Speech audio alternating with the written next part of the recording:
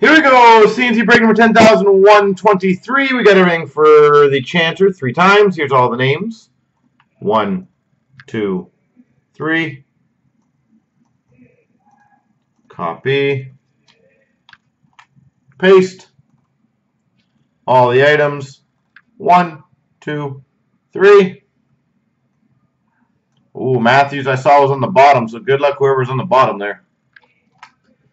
All right. Well, right off the bat, the Monahan Future Watch goes to Stripes Flyers. The Dougie Hamilton patch out of 10 goes to Roman.